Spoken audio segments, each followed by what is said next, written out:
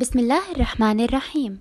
والصلاة والسلام على سيدنا محمد وعلى آله وصحبه أجمعين. السلام عليكم ورحمة الله وبركاته. أعزائي طلاب وطالبات الصف الرابع من مدارس النظم الفنلندية. معكم المعلمة آية حماد. سنبدأ اليوم في درس جديد من دروس اللغة العربية بعنوان بطولات من الأردن.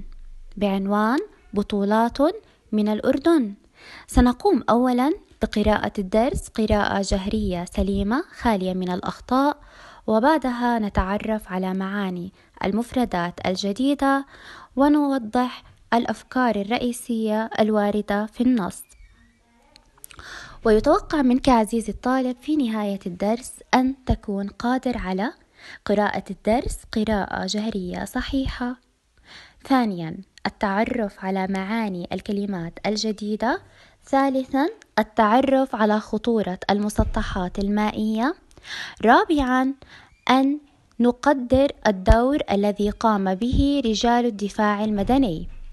لنبدأ أولا بالنظر إلى الصورة في النص. تأمل الصورة هنا. ماذا تجد؟ نجد أن الدرس يبدأ بصورة لعائلة تتنزه على شاطئ البحر. ترى ما علاقة نزهة هذه العائلة على شاطئ البحر بعنوان بطولات من الأردن؟ ومن المعروف أن بطولات تعني أعمال بطولية أعمال فيها بطولة. ترى من البطل الذي يتحدث عنه النص؟ وماذا حصل في هذه الرحلة؟ كي تسجل بطولة من بطولات الأردن. لنستمع إلى قصة الدرس كي نعرف السبب.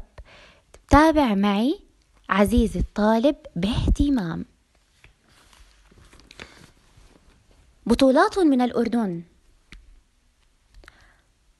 على شاطئ البحر الميت كان الوالدان يستمتعان بالنظر إلى طفليهما مريم وماهر. وهما يلعبان بسعادة. فجأة هبت عاصفة سحبت الطفلين إلى عرض البحر.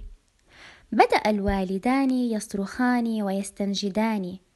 فتجمهر الناس لكن أحدا لم يجرؤ على المغامرة بدخول المياه. وما هي إلا لحظات حتى اختفى الطفلان وراء الأمواج. مضت دقائق وقد استبد القلق بالوالدين على طفليهما. فإذا بأحد أبطال الدفاع المدني في أردننا الغالي يقفز وسط الأمواج لإنقاذهما. فسحبته كما سحبت الطفلين واختفى هو الآخر عن الأنظار. توجه المنقذ إلى مريم فوجدها متشبثة بيد أخيها. وهما يصيحان وقد أشرفا على الموت.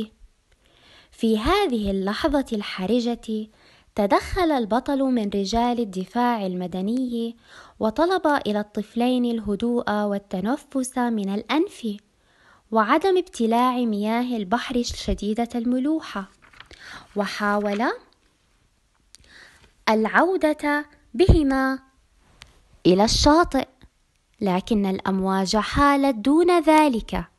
وبعد ساعات في عرض البحر عم الظلام أرجاء المكان وانخفضت درجات الحرارة بشكل كبير.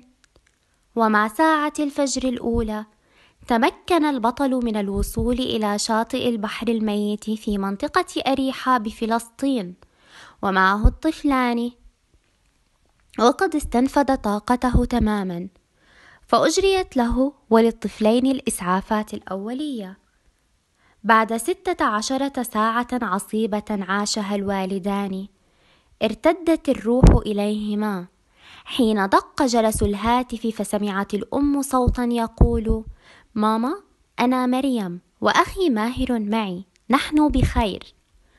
لم تصدق الأم ما سمعت ثم سقطت مغشيا عليها. حظي البطل المنقذ بلقاء سيد البلاد جلالة الملك عبد الله الثاني وتكريمه فقد أمر بترقيته ومنحه وسام التضحية والفداء تقديرا لشجاعته وبسالته التي ليست غريبة على أبناء الدفاع المدني. إذا نعود الآن إلى الصورة. قلنا أن الدرس يبدأ بصورة لعائلة تتنزه، وسألنا ما العلاقة بين النزهة وعنوان الدرس. لاحظنا من خلال الدرس أن هناك فعلا بطولة تستحق أن تسجل من بطولات الأردن والبطل الذي قام فيها هو رجل من رجال الدفاع المدني الأبطال والدرس الواجب أن نتعرف عليه اليوم هو إدراك خطورة المسطحات المائية. لنتعرف أكثر من خلال ذكر مراحل هذه القصة. في الفقرة الأولى أولاً بينما كانت العائلة تجلس مستمتعة على شاطئ البحر والطفلان يسبحان بالقرب منهما ثارت عاصفة قوية جدا. جعلت الأمواج تأخذ الطفلين إلى وسط البحر.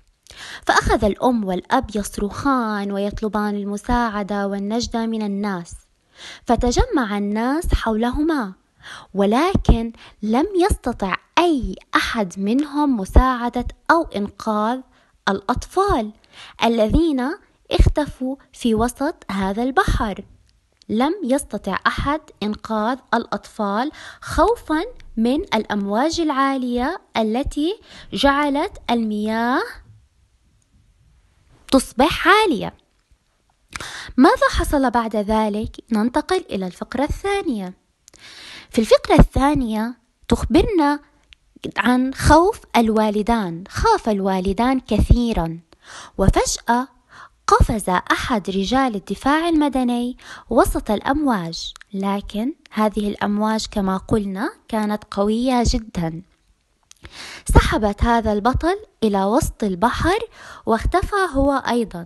لكن بعد فترة تمكن من إيجاد الطفلة مريم. وماذا كانت تفعل مريم في هذه الأثناء؟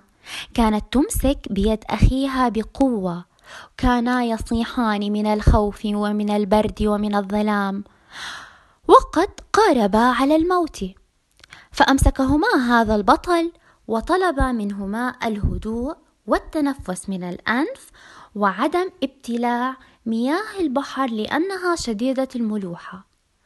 وحاول الوصول بهما أحبائي إلى الشاطئ. لكن هل تمكن من ذلك؟ نعم لم يتمكن من من الوصول إلى شاطئ البحر. فأظلم المكان وانخفضت درجات الحرارة وأصبحت المياه أكثر برودة عند حلول المساء والظلام إذا ماذا حصل بعد ذلك؟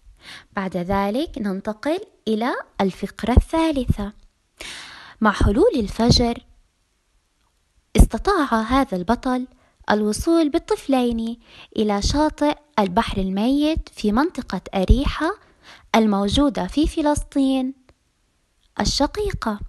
ولكن في هذه الأثناء وبسبب الساعات الطويلة التي قضاها هذا البطل بالبحر و... وحاول أن يفعل كل ما يستطيع وحاول إنقاذ الأطفال والوصول بهم إلى الشاطئ لكنه شعر بالتعب بعد ذلك. عند وصوله بأمان إلى الشاطئ هو والأطفال شعر بتعب. لقد نفذت طاقته تماما. فقاموا بإجراء الإسعافات الأولية لهذا البطل والطفلين. بعد ذلك بعد ذلك وبعد مضي ستة عشر ساعة صعبة على الوالدين من الخوف والقلق والدعاء والبكاء. فجأة رن الهاتف. فإذا هي بمريم تطمئن أمها وأخيها أنها بخير والحمد لله. فرحت الأم فرحة شديدة جدا. لم تصدق أنها تسمع صوت ابنتها بعد أن فقدت الأمل بعودتهما.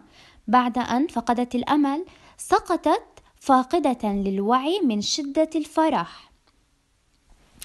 وفي نهاية النص وعند عودة البطل إلى أرض الوطن قام جلالة الملك عبد الله الثاني ابن الحسين حفظه الله بتكريمه فقد أمر بترقيته أي أمر بإعطائه رتبة أعلى ومنحه أيضا وسام التضحية والفداء لماذا؟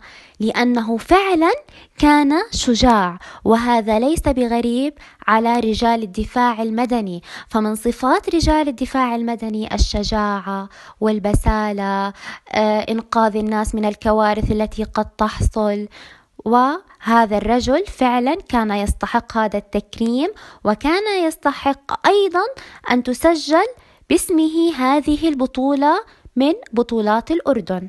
لنتعرف الآن على معاني المفردات.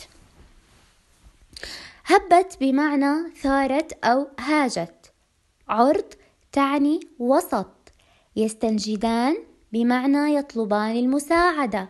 تجمهر بمعنى تجمع استبد بمعنى اشتد متشبثة بمعنى متمسكة أشرف تعني اقتربا الحرجة تعني الصعبة حال تعني منعت عم بمعنى حل استنفذ أي بذل كل جهده عصيبة شديدة وصعبة ارتدت بمعنى عادت أو رجعت مغشيا بمعنى فاقدة للوعي أو بمصطلحاتنا نقول مغمى عليها حظي بمعنى نال ترقية رتبة أعلى منح تعني أعطى أو وهب بسالة تعني شجاعة ماذا توصلتم أعزائي بعد شرح هذا الدرس؟